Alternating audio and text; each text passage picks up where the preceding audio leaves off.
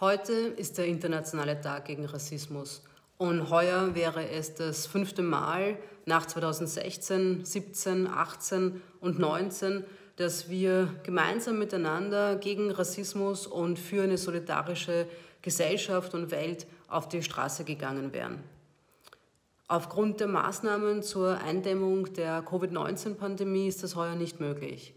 Wir müssen unsere physischen Kontakte einschränken um einander zu schützen. Aber es gibt sehr viele Möglichkeiten, wie wir trotzdem miteinander im Austausch sein können, im Gespräch bleiben können, in Aktion sein können und auch solidarisch sein können. Wir sprechen viel, viel dieser Tage über Solidarität und viel darüber, Menschenleben zu schützen. Wir wissen, dass unser Handeln sich auf unsere Mitmenschen auswirkt. Wir wissen, dass wir alle miteinander verbunden sind dass Solidarität schützen kann und dass wir aufeinander schauen können. Seit Monaten überleben Menschen in den Flüchtlingscamps auf Lesbos unter den widrigsten Bedingungen. Seit Monaten machen NGOs darauf aufmerksam und seit Monaten fordern wir immer wieder, dass diese unmenschlichen Camps aufgelöst und die dort lebenden Geflüchteten innerhalb der EU aufgenommen werden. Wir leben derzeit in sehr herausfordernden unter sehr herausfordernden Bedingungen. Für die Geflüchteten in den griechischen Lagern verschärft sich diese Situation um ein Vielfaches.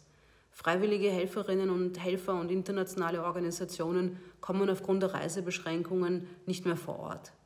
Einen Ausbruch von Covid-19 in den Lagern möchte sich niemand vorstellen.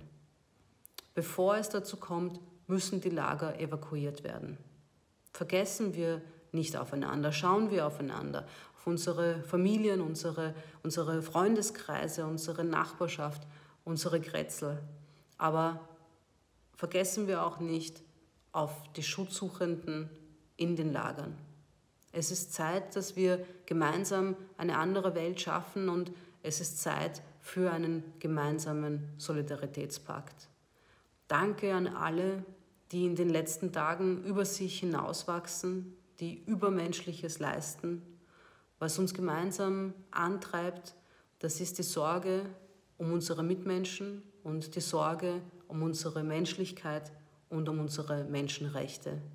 Und deswegen werde ich, werden wir gemeinsam mit euch dranbleiben, laut bleiben und solidarisch bleiben.